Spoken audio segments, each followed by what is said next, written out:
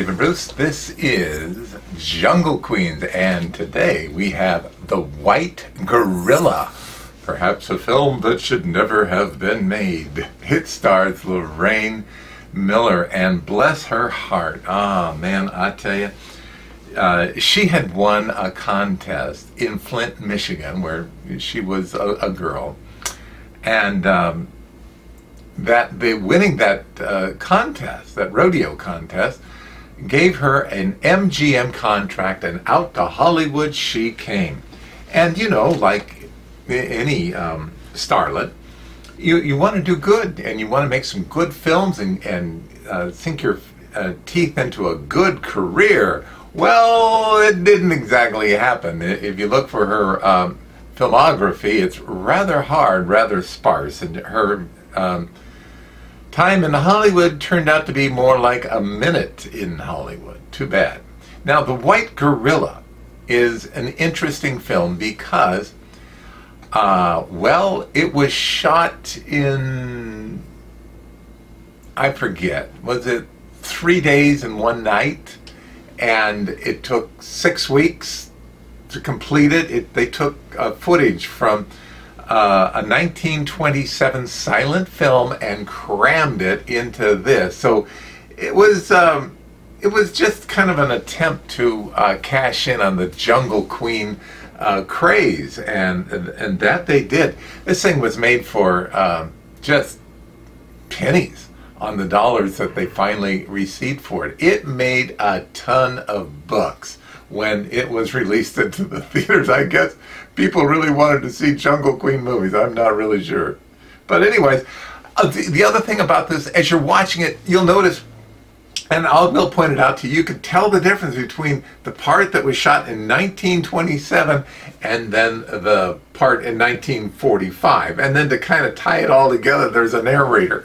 it's like, ah! Anyway, this is the film about um, um, how producers like to cash in on successful genres.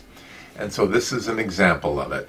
And sometimes they can leave in their wake uh, something pretty devastating like Lorraine Miller, who really did deserve better than this and uh, really wanted a great career. My gosh, she had a contract with MGM. How could you do much better than that?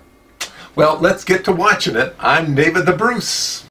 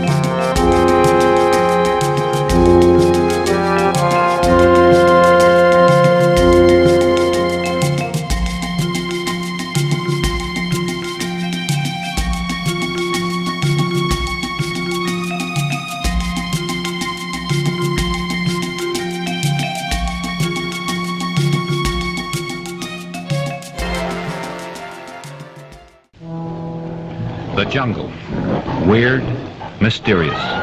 Home of countless beasts of prey with their thunderous roars and haunting cries.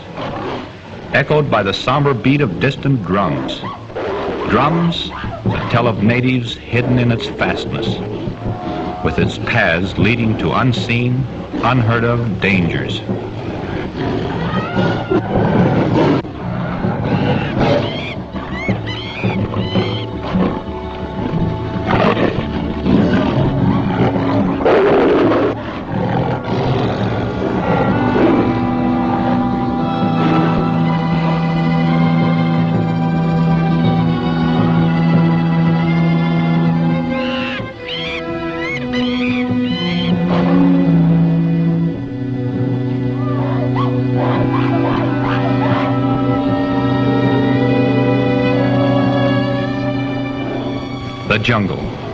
Which countless and daring explorers have fought their way, seeking to verify the truth of the strange and fantastic stories that have veiled this land of mystery, some of them never to return.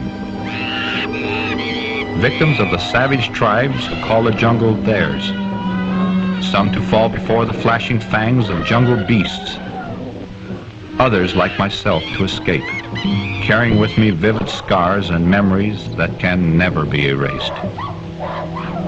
Memories that recall a strange, unbelievable experience that started when I, Steve Collins, was acting as a guide out of Morgan's trading post.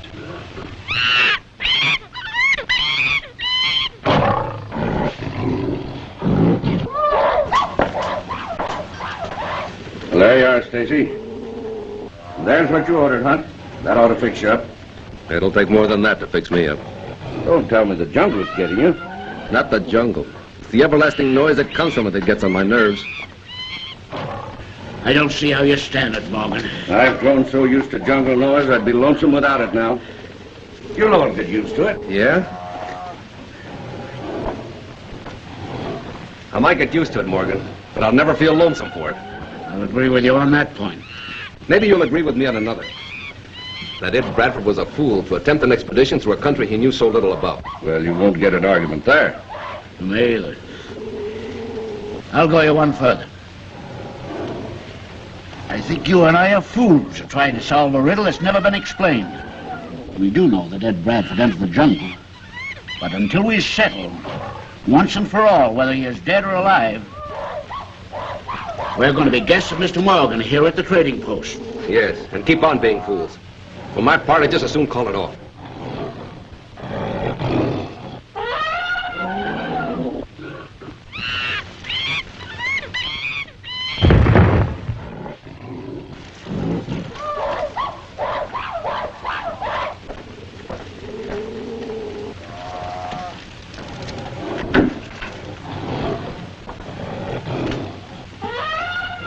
Stacy, Hunt, give me a hand quick.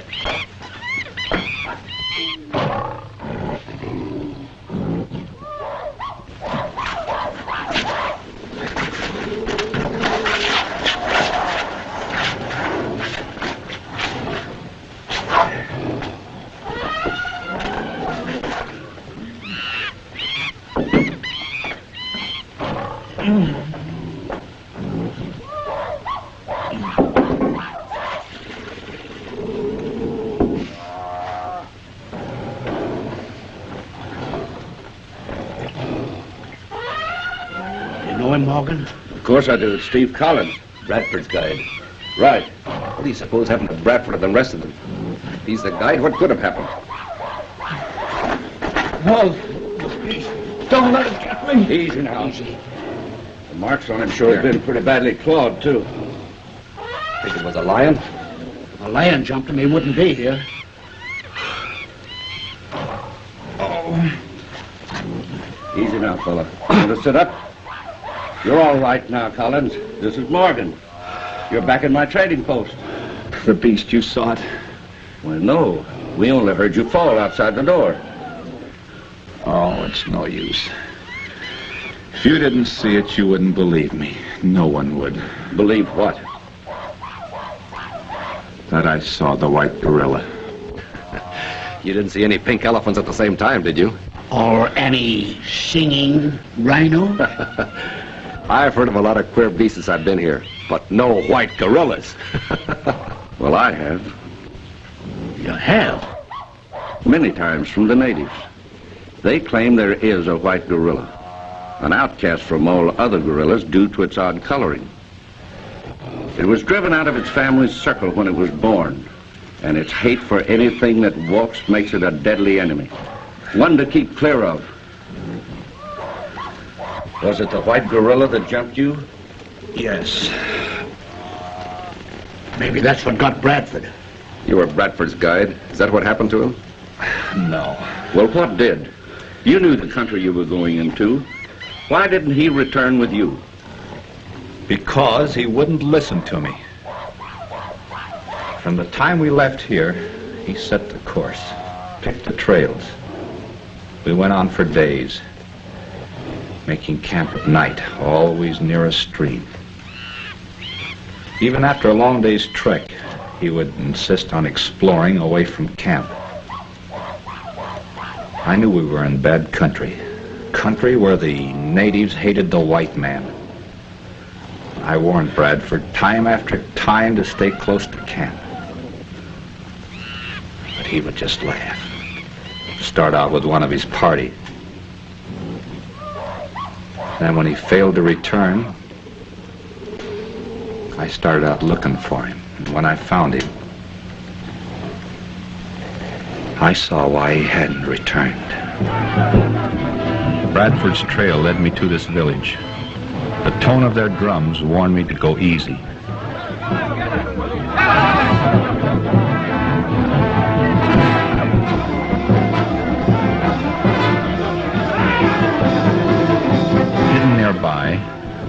Discovered Bradford and Allison were prisoners of one of the most savage tribes in the jungle.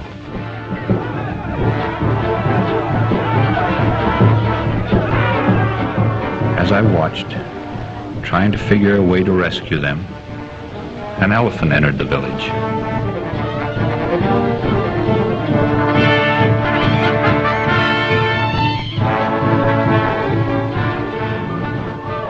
I could hardly believe my eyes when I saw a small white boy drop from the elephant's trunk. This mere slip of a child here in the jungle among the wild beasts and savage tribes. It was uncanny.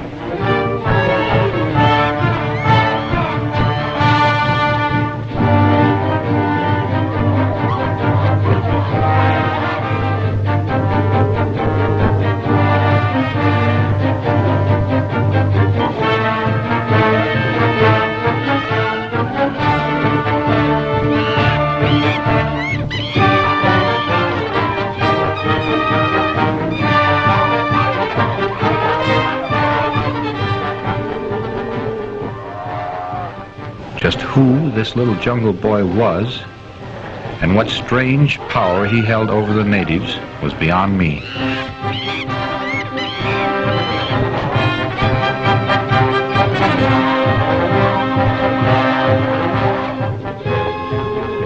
Bradford and Allison lost no time in getting away.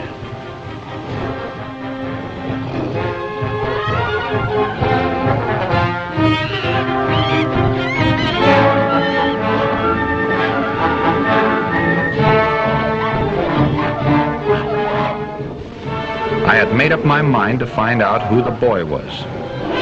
But when he left the village, he disappeared.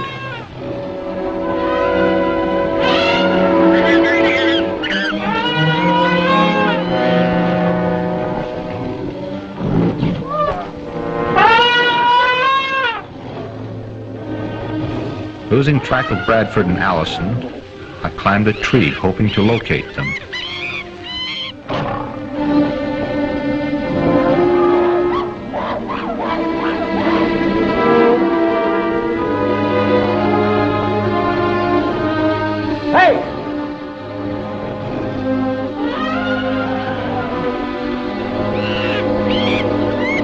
Bradford met up with one of the native boys from our camp.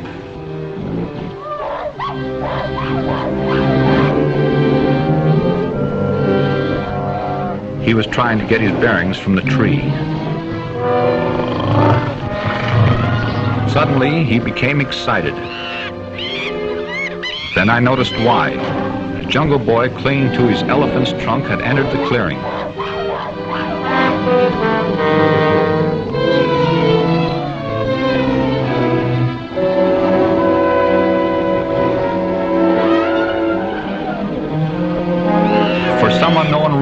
Little fellow saw them, he turned and ran back into the jungle.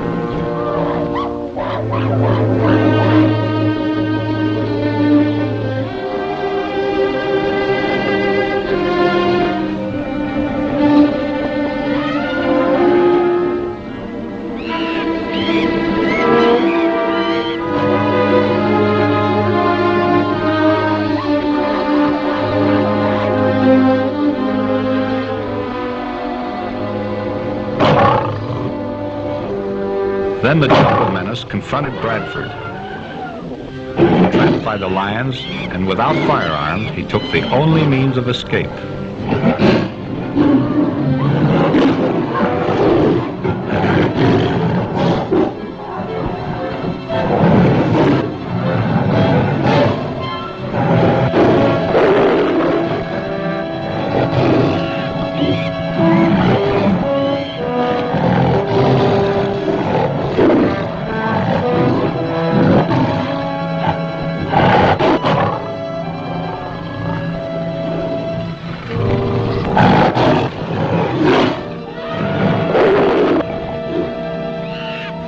As I watched him, I forgot the jungle boy and the fact that I too was trapped by the wild beasts.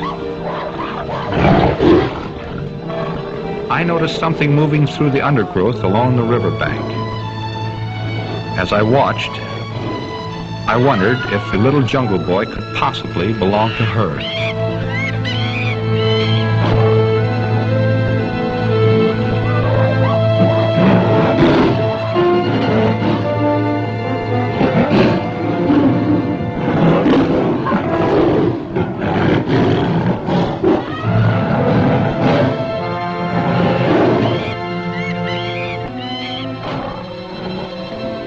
Hippo had seen the girl on the raft.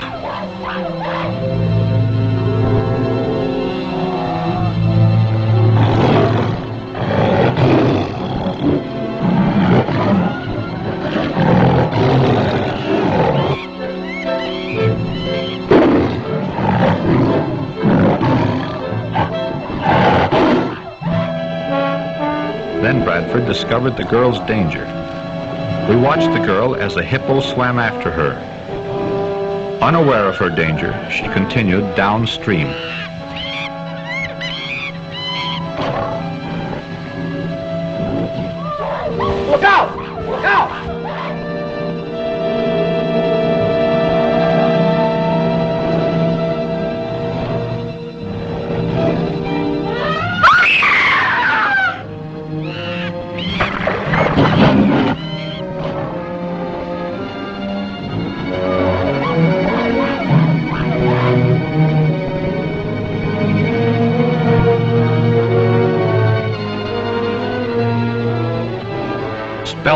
I watched the girl's frantic efforts to escape the onrushing brute. Then I saw Bradford snap into action.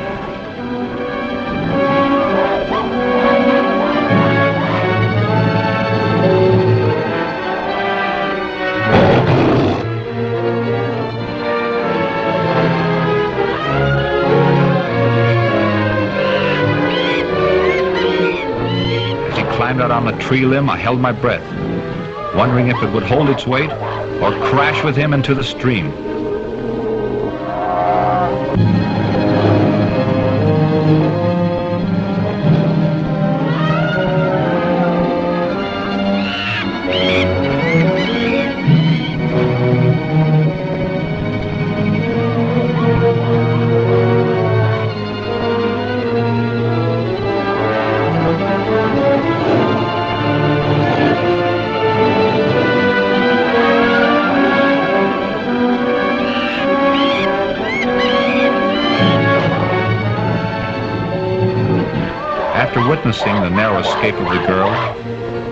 I believe in miracles, and believing in them convinces me there is something to the fantastic tales concerning the jungle mysteries.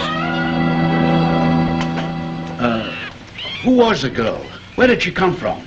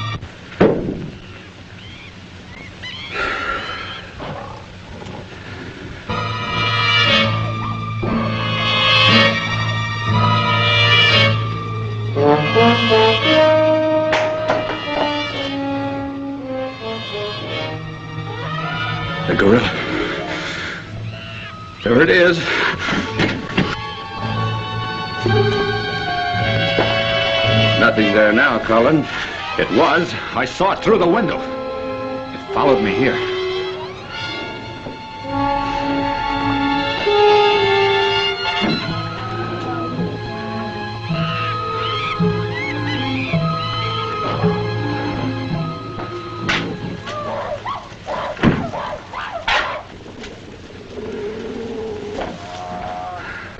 There's nothing outside, Steve. I tell you, Morgan, I saw it. All right, take it easy. Sure, sure you did.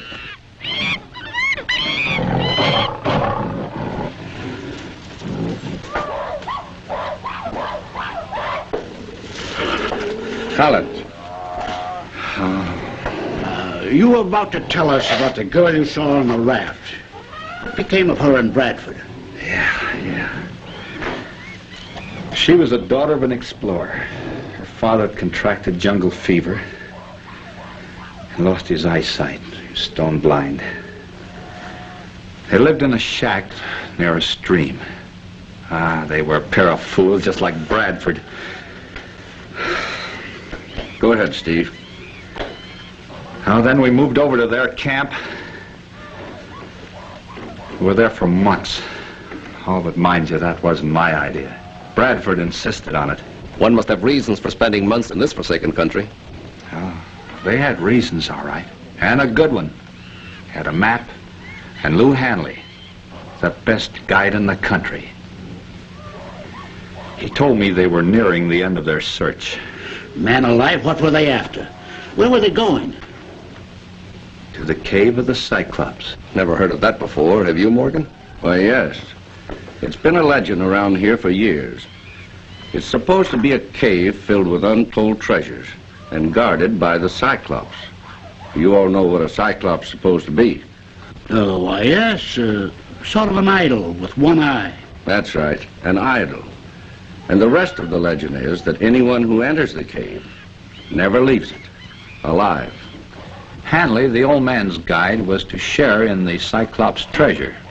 That is, if they found it. But after Bradford rescued the girl, he figured that the old man, to show his appreciation, might give him the map.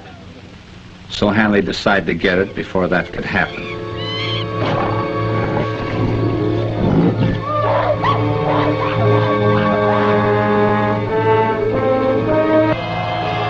But Bradford, being suspicious of Hanley, was on the lookout.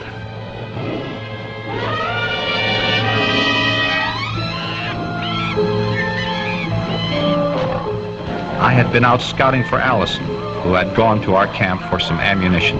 Returning to the old man's shack, I decided to have a look before barging in. It was lucky I did.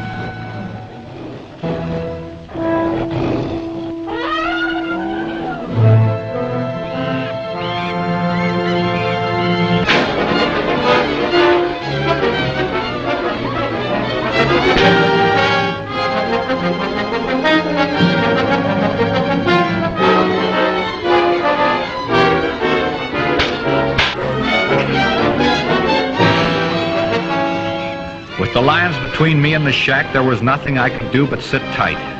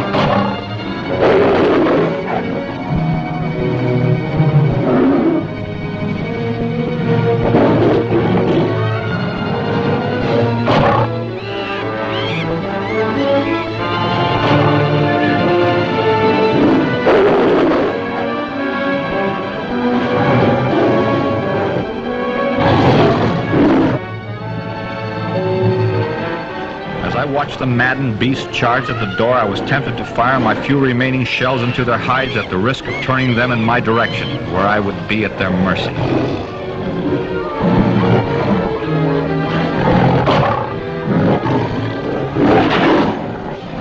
Then it happened. The door gave way and the lions crashed in.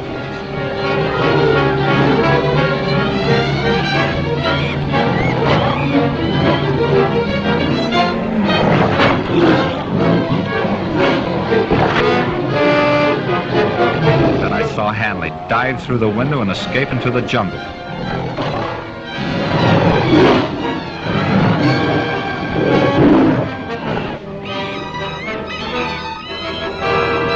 Then it was over. Bradford had driven the beasts off. The excitement was too much for the old man, and he died soon afterwards. Hanley the guide disappeared. Bradford took the girl and started back for his own camp. And they left you? No. I followed them some distance behind, with Carter, one of the men from the old man's camp, on the lookout for Hanley. No one trusted him, and we didn't want to take any chances. What has all this to do with the white gorilla? Well, I was coming to that. It was while we were moving through the jungle. I was well to the rear, and Carter was some distance behind me.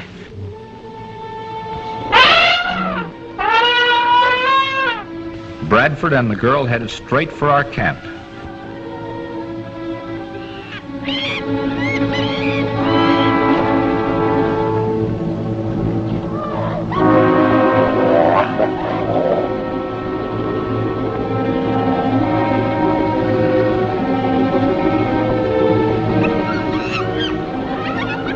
As I followed after them, I wondered what had become of the strange little jungle boy. It didn't seem possible that this child with his supernatural powers over the natives and the beasts of the jungle could be a reality.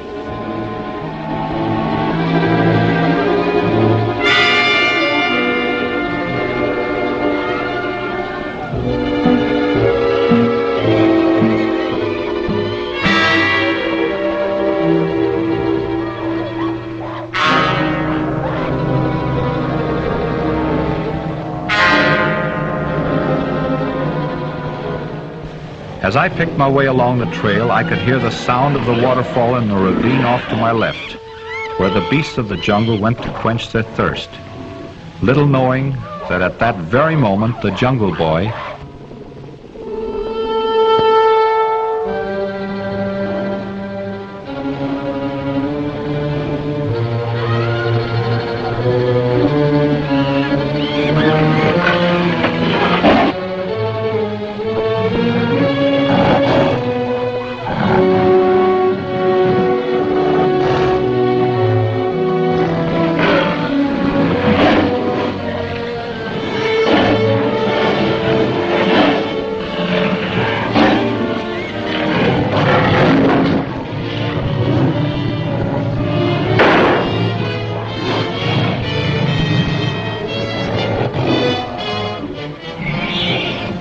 chattering of the monkeys in the trees should have warned me of my own danger.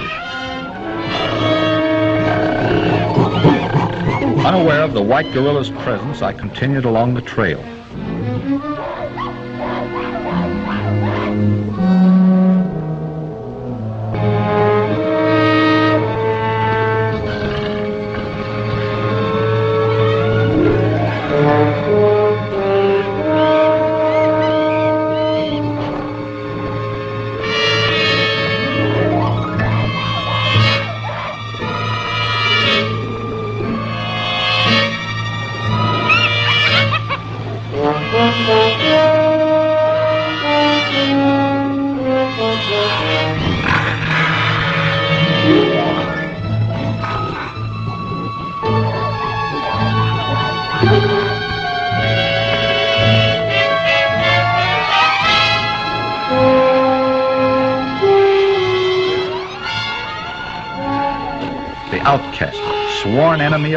Had picked his victim, Carter.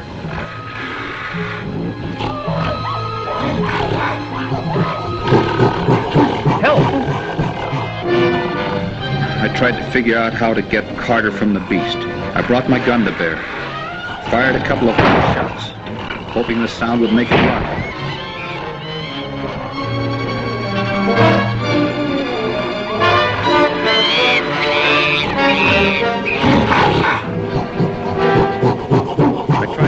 Rifle as a club, but the beast with its big hands struck me down.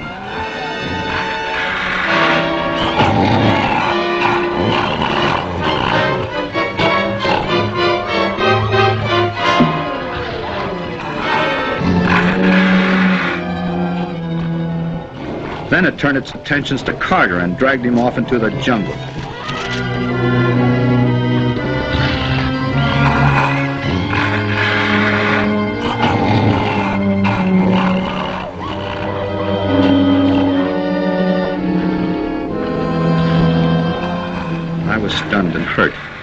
Tried to trail the beast, hoping I could get close enough to land a lucky shot that would not endanger Carter.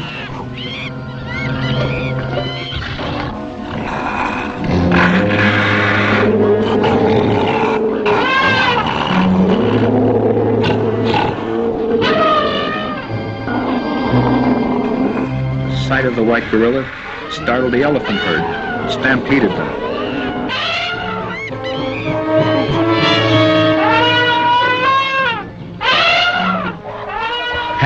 Who had been following Bradford's trail, crossed the aroused brute's path.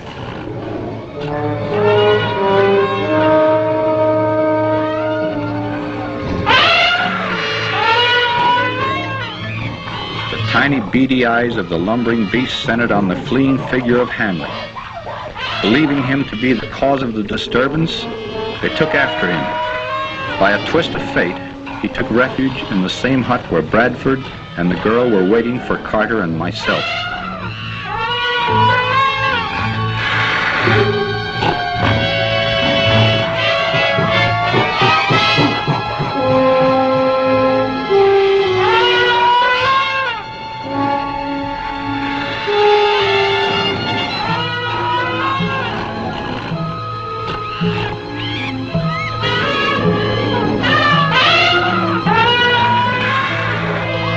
As I watched the maddened herd destroy the hut, I discovered the jungle boy and his elephant approaching.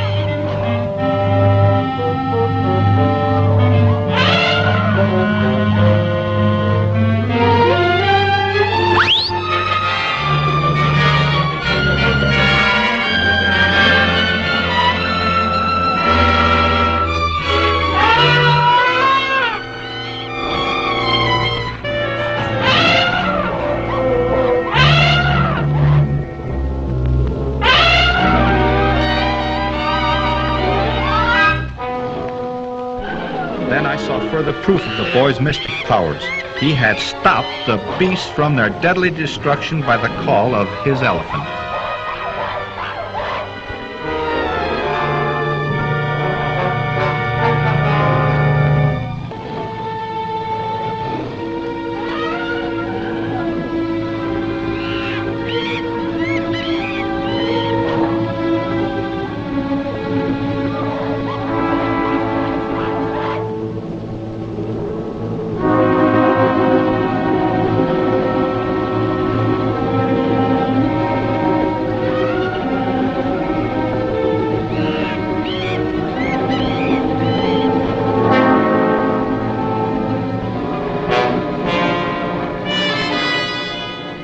Fascinated by what I saw, I found myself glued to the spot. Again, that strange little boy and his elephant came to the rescue of Bradford.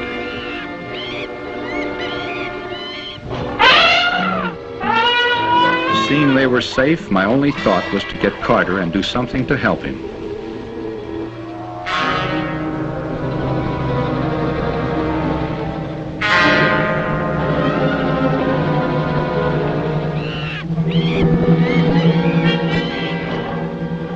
Little did I know as I followed the trail of the white gorilla through the jungle, the nature of the huge monster that was to cross our path.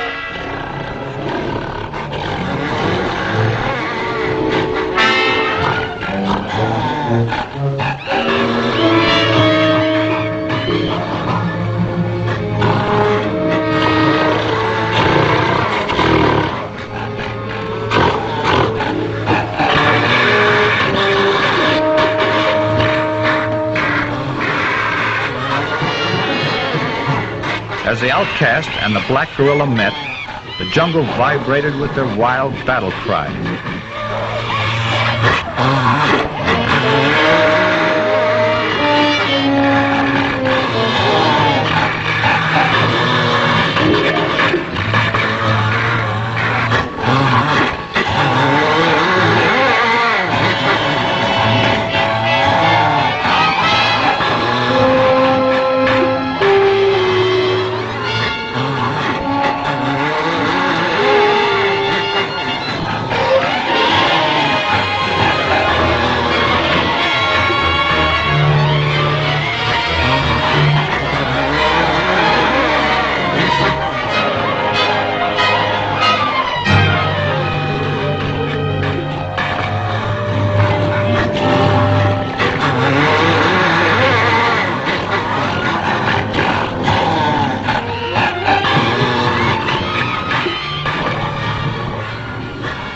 Found Carter where the white gorilla had dropped him.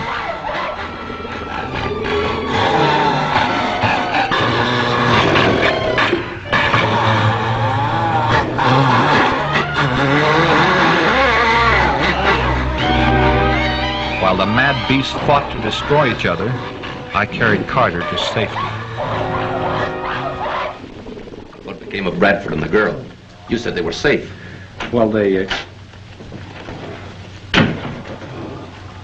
Well, I've never seen such solemn faces. What's happened? Oh, uh, this is Mr. Collins, dear. Bradford's guide. He was attacked by a white gorilla. A white gorilla? Yes. Oh, Mr. Collins. My daughter, Ruth. I'm very glad to meet you, but I can't say that I'm glad to see you here in the jungle. You know, this is no place for a lady. Oh, she's perfectly safe here. Go ahead and tell us what happened to Bradford and the girl. Yes, uh, sit down, Ruth. It's all right. Go ahead. Well, I brought Carter to a friendly native village where I learned that the Jungle Boy, with the aid of a friendly roving band of Arabs, had taken Bradford and the girl.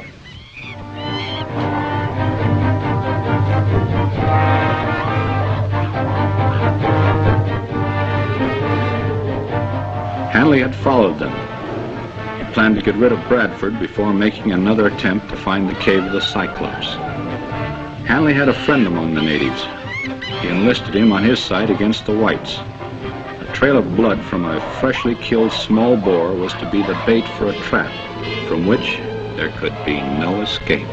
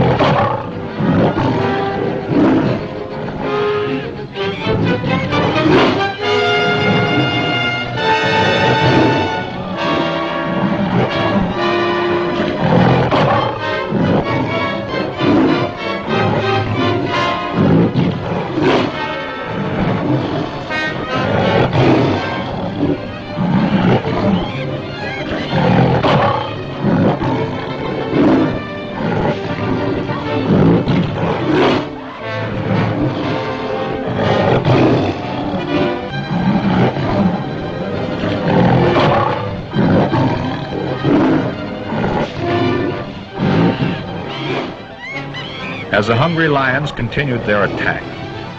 I thank my lucky stars for the decision I made, never to be caught too close to Bradford as long as Hanley roamed the jungle. The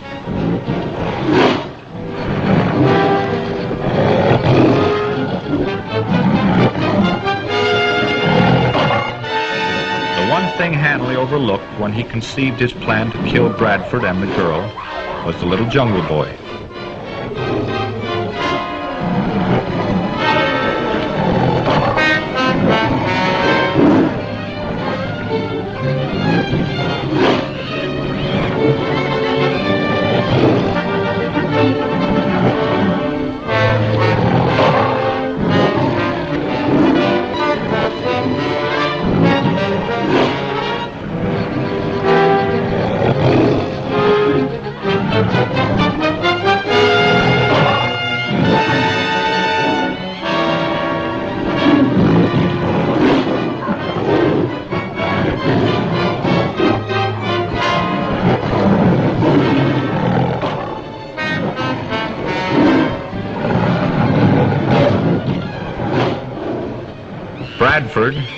Girl and the boy were among the few to escape the beast's attack. I found Hanley's body just outside the village, a victim of his own plot. How terrible. Yes, but how lucky they had the jungle boy on their side. Strange. A boy like that wandering around loose? I heard of him before. To the natives, he's taboo. That's right. I found out later why when I trailed a girl in Bradford to his camp. I discovered that the cave of the Cyclops was only a few miles from our camp. The woman was the mother of the little jungle boy. Her years in the jungle had taught her that the natives believed the insane harmless and possessed untold powers. One of feeble mind was safe from all harm. To the natives, taboo. To protect herself and the boy, she pretended to be just that, insane. Known as tiger men, the natives who inhabited the Cyclops cave worshipped the idols there. Discovering this, the woman secretly hollowed out one of them and taught the boy to lower and raise the idol's arms at her command. This display of her supposedly supernatural powers gave the woman control over the natives, so far as her own and the boy's safety was concerned. When the tiger men informed her that white people were in camp close by, she ordered them brought to the cave, secretly hoping through them to effect the escape of herself and the boy from the jungle.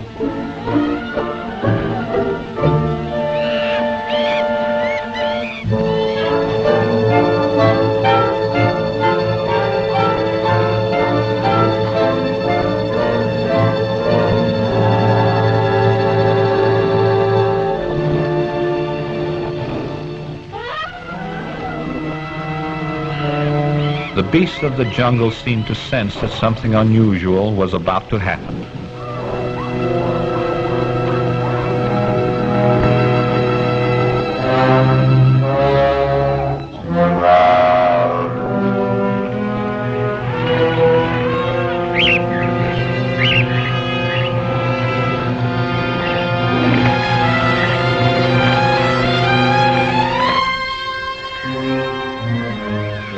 The tiger men surrounded Bradford's camp and proceeded to carry out the woman's orders.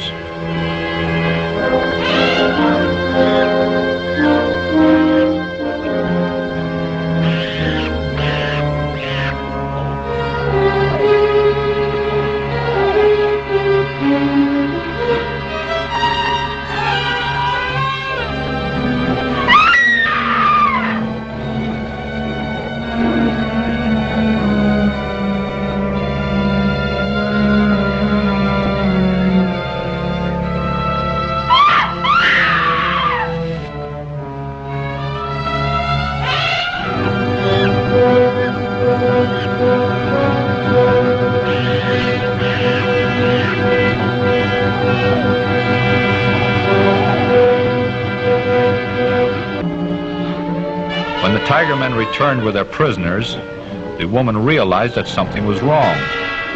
She had ordered them brought in to her, but not this way.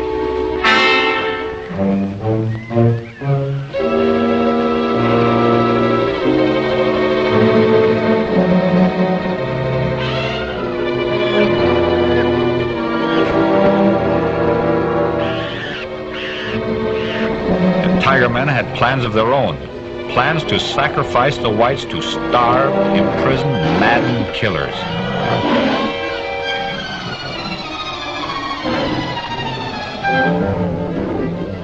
I had been scouting near the cave, and from where I was hidden near the entrance, I could see the frantic efforts of the woman as she tried to stop the sacrifice.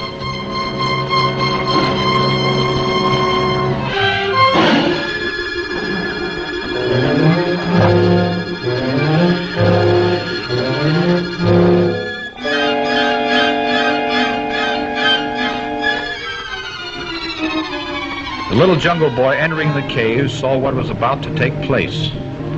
As fast as his little legs could carry him, he ran to his place in the idol. He worked the arms and forced the image to breathe in an effort to save the whites.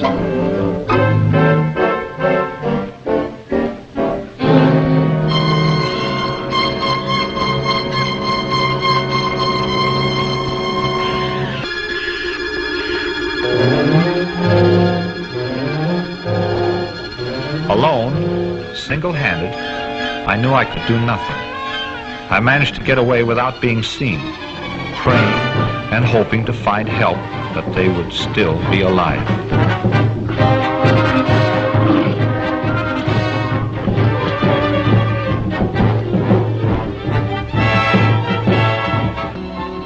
As I made my way through the jungle, I became aware that I was being followed by an animal of some kind.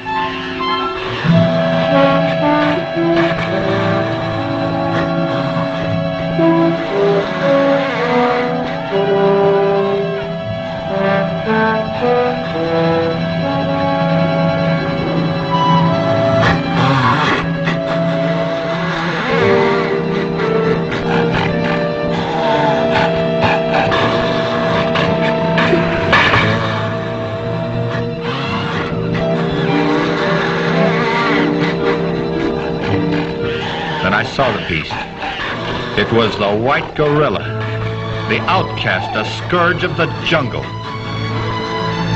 seemed to know my gun had jammed.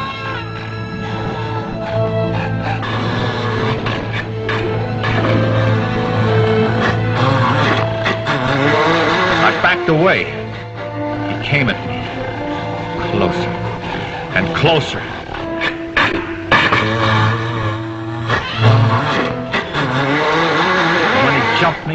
I thought it was the end. He mauled me with his brute strength and ponderous weight.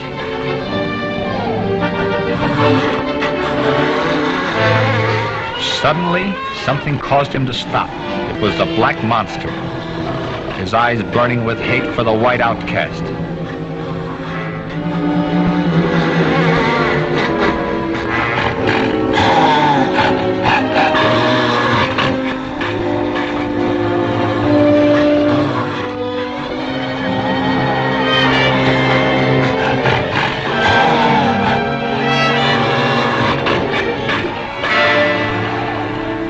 The jungle vibrated as the two beasts met.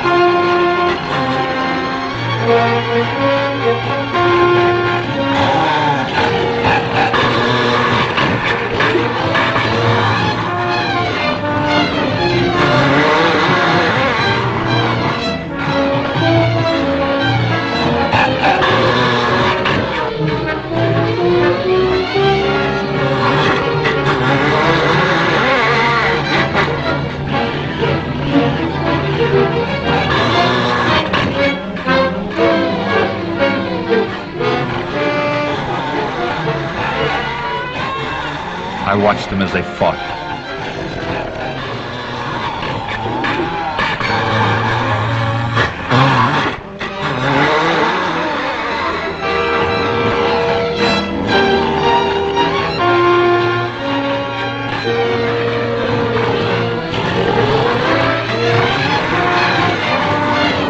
With every bone in my body aching, I limped away. As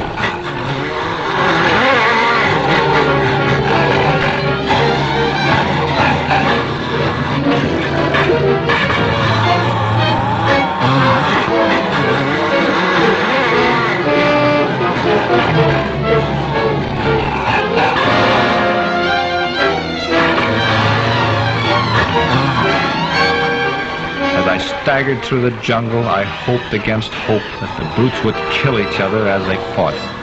I kept on going, and then That's it.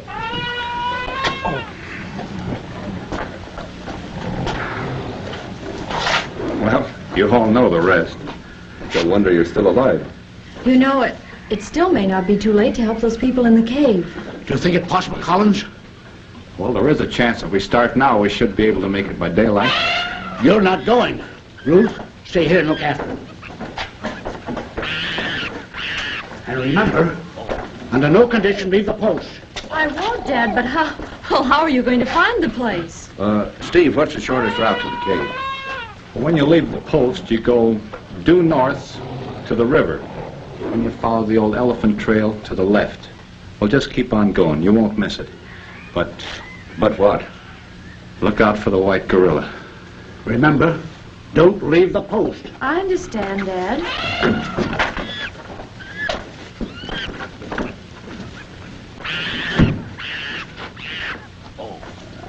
Well, I think you'd better sit down here and let me see if I can't clean up these scratches.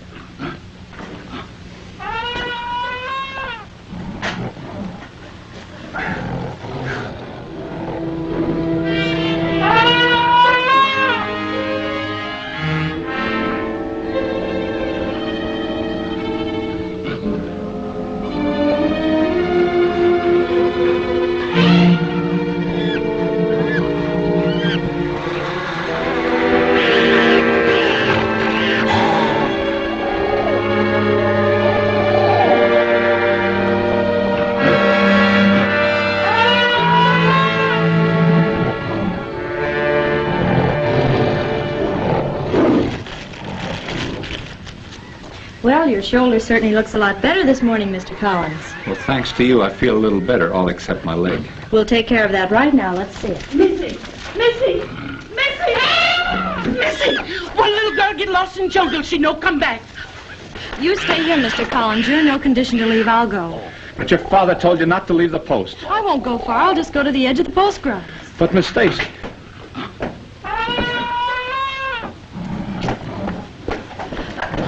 stay here, Mamois. Fix bandage on leg. Understand? Me understand. All right.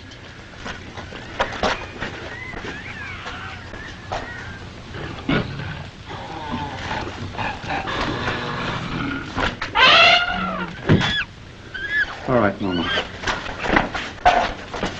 Me see like me fix it. Oh.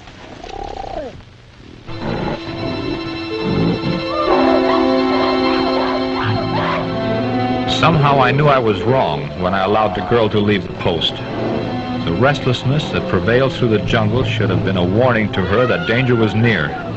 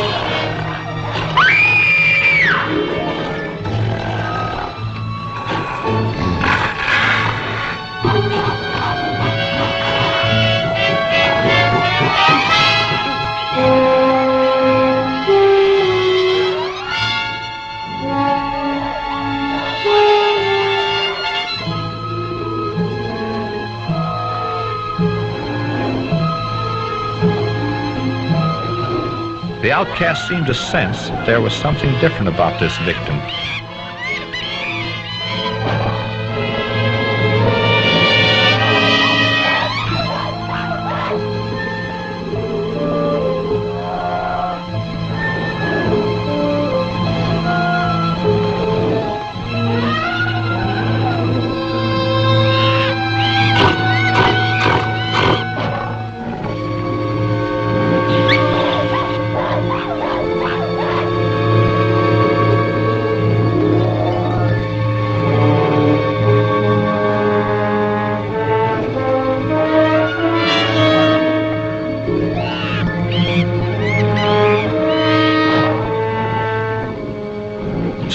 Of the unconscious girl puzzled him.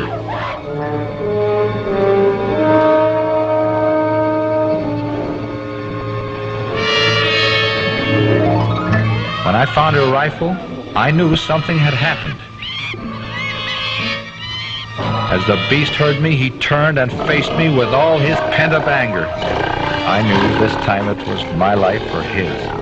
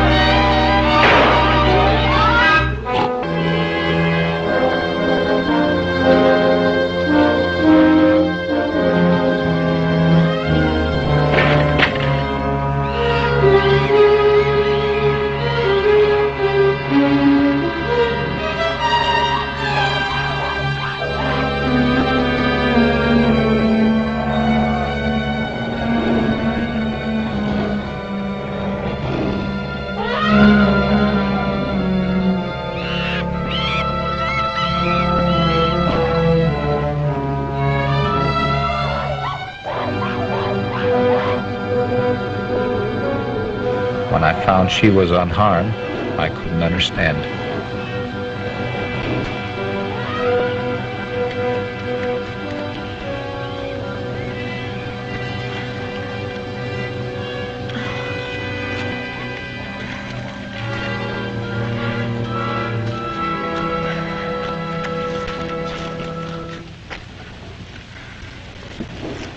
Oh, I, I don't know how to thank you, Mr. Collins. Well, it's the other way around. I'm grateful to you. I killed the white gorilla.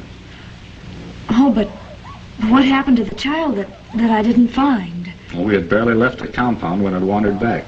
Oh, that's good. Oh, but don't tell Father. Don't tell him what.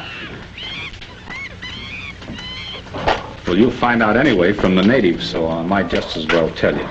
Yeah. Yeah.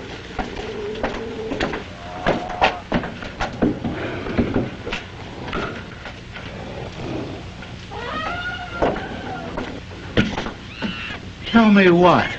Well, you see, uh, a native child got lost, and I went looking for it, and well, I, I She ran into an old enemy of mine, the white gorilla. I killed it.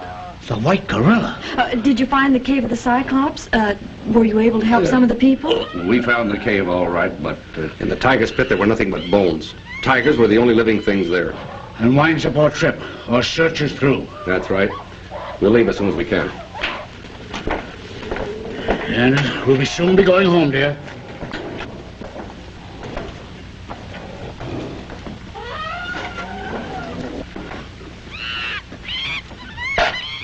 well, Steve, that leaves just the two of us. Uh-uh. Just you.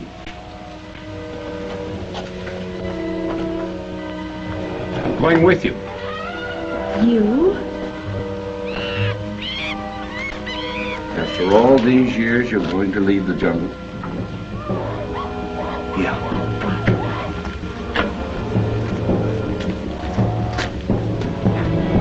After all, we have no right to the jungle. It belongs to the natives.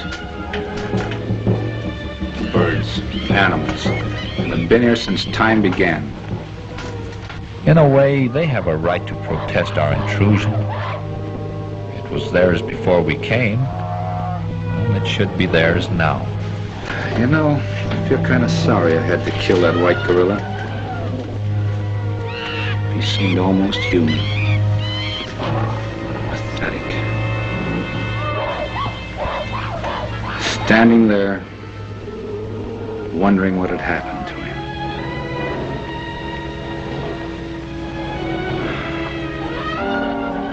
His death seemed to cast a spell of loneliness over the jungle. The wild cries and mad roars of the beast have suddenly quieted. A silent tribute to his passing.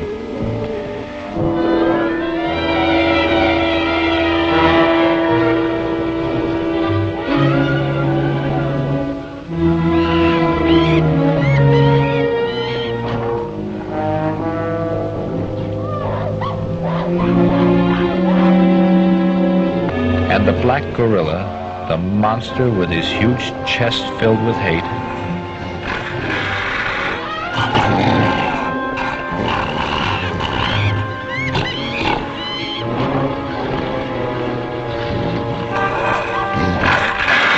I can almost see him as he discovers the white outcast lying there as though sleeping.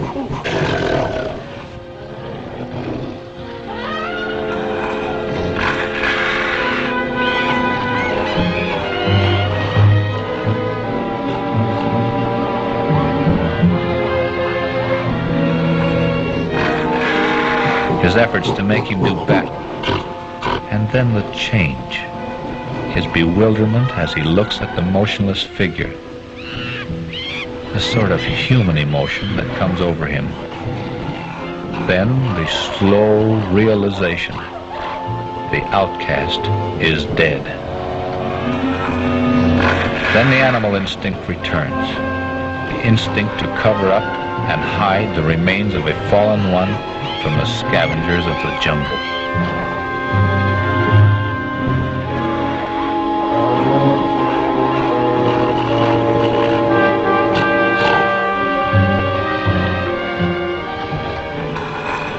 A gesture for forgiveness as he chants the death call for the outcast of his race, the white gorilla.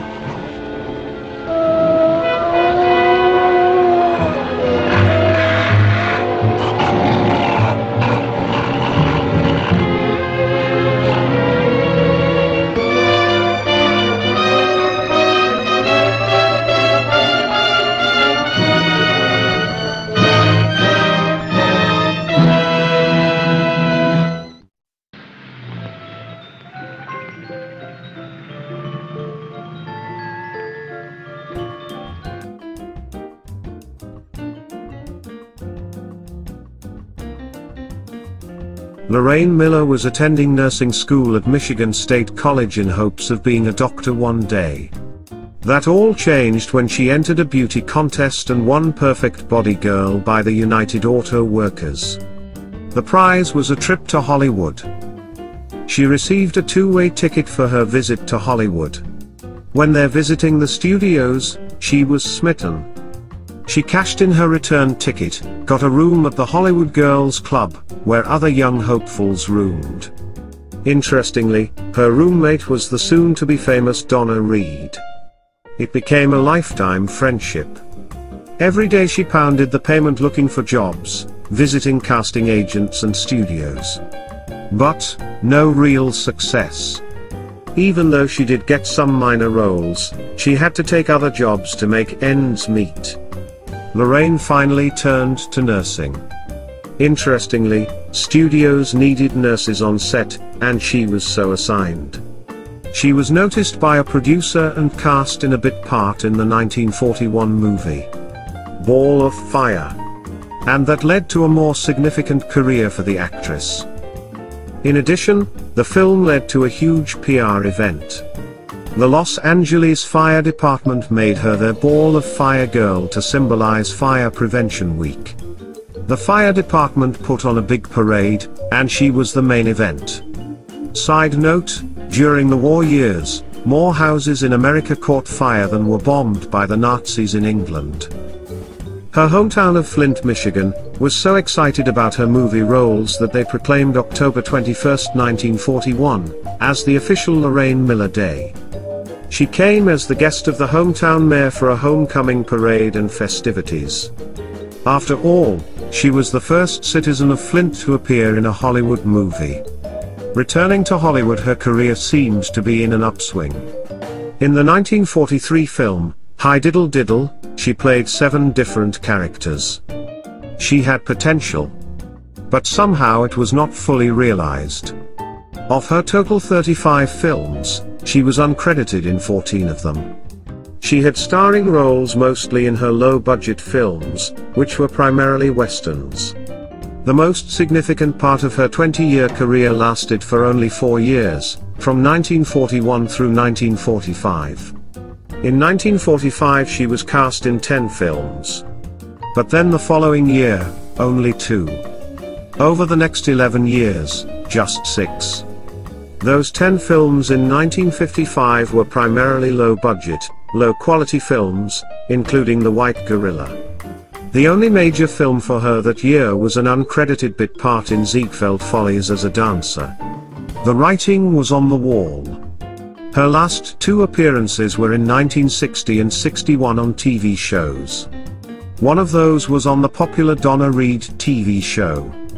Interestingly, her showbiz career began with Donna Reed as her roommate in 1941 and ended in 1960 on the Donna Reed Show. Great friends to the end. Sadly, Lorraine Miller's career in Hollywood is typical. Most never fully make it. As they say, don't quit your day job. You I've seen that girl somewhere before.